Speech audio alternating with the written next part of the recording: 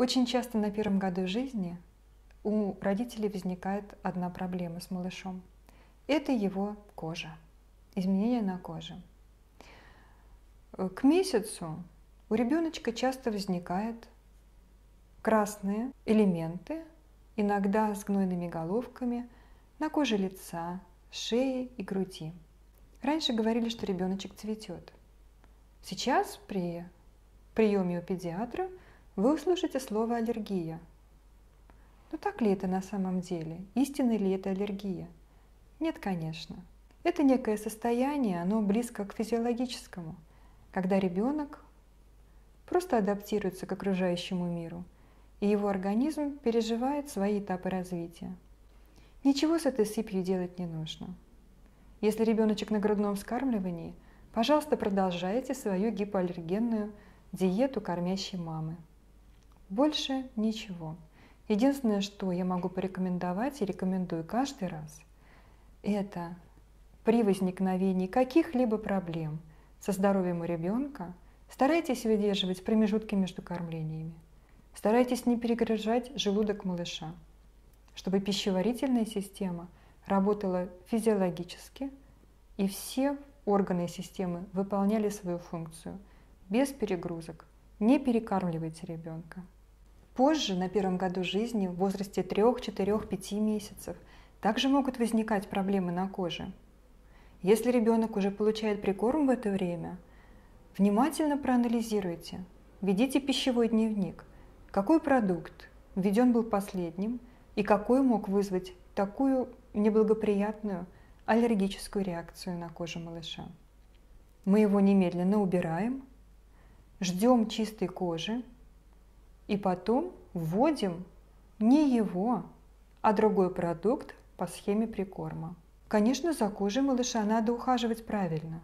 Необходимо иметь в арсенале детский крем, детское масло.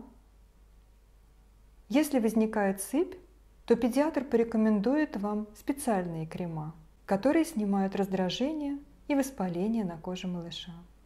Не купайте малыша в травах. Это не показано ребенку при аллергической сыпи.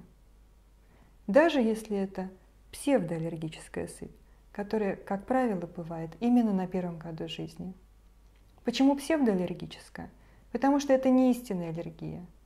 Это аллергия, которая проходит с возрастом – Поэтому мы называем ее псевдоаллергической сыпью. Как правило, изменения на коже на первом году жизни связаны с проявлением эксудативно-катарального диатеза у ребенка. Мы знаем, что диатез – это аномалия Конституции, и, казалось бы, ничего не надо делать. Это не совсем так. Если есть такая аномалия Конституции, которая вызывает на коже изменения, а может быть изменения стула, конечно, мы можем помогать ребенку расти – и можем корректировать эти отклонения. Каким образом? Придерживаясь гипоаллергенной диеты и среды обитания, то есть, что имеется в виду? Кормящая мама должна кушать только гипоаллергенные продукты. Ребенку мы вводим прикорм исключительно гипоаллергенными продуктами и очень постепенно. Кроме того, ограничьте контакт с ребенка с бытовыми аллергенами. Это пыль, это шерсть животных, это химические вещества, которые мы используем в быту, стиральные порошки, средства ухода за ванной комнатой, за кухней. В лечении эксудативно-катарального диатеза большое значение имеет поддержание и внутренней среды организма. Я имею в виду кишечник.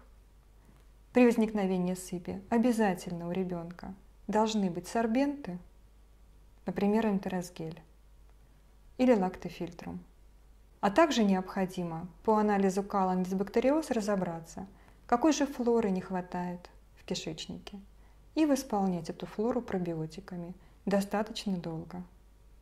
Так можно скорректировать проявление эксудативно-катарального диатеза.